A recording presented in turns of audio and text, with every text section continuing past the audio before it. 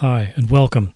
My name is Ashley Hopkins, and I will be helping you to find and download Google Picasa on the internet, which is an excellent computer program for managing your digital photo and video collection.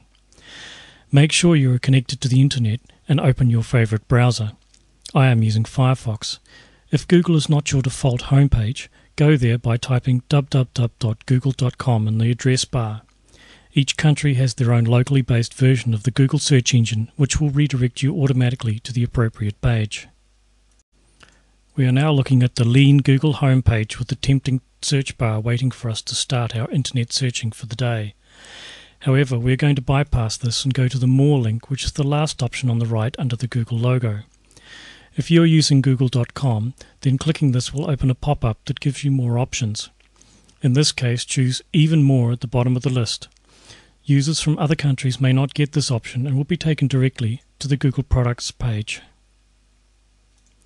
The Google Products page now boasts a large selection of free and useful programs and utilities for online and offline use. Find the Picasa link, which is halfway down the right hand column under Communicate, Show, and Share. Click the Picasa logo.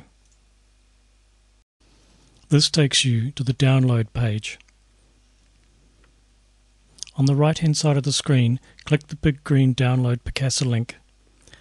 After a few seconds, a pop up window asks you to save your file to the computer's hard drive. Click the Save File button. Your browser will download the Picasa installation file to your default location. Thank you for watching this tutorial. The next tutorial deals with installing and setting up Picasa on your machine.